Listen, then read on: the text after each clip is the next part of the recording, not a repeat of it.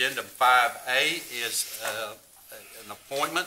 It's to the Valdosta Lowndes County Development Authority, and again, this is a joint appointment, and it is the city's rotation. Mr. Pritchett. Mr. Chairman, Commissioners, as you just stated, this is a rotating appointment currently uh, held by Mr. Roy Copeland, whose term expired January 1.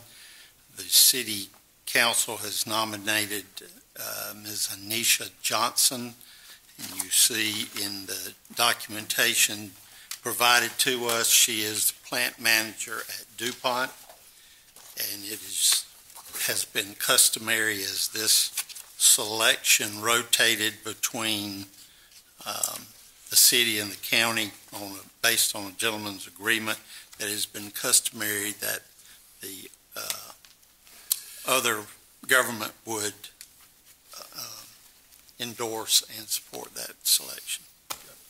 Any questions for Mr. Pritchett? Yeah, Mr. Pritchett, can she be here tomorrow to introduce herself? We will call her and see. Thanks. How long is this term for? Four years? Four I'm not- years. Is it four years? I'm not sure if it's four years or five years.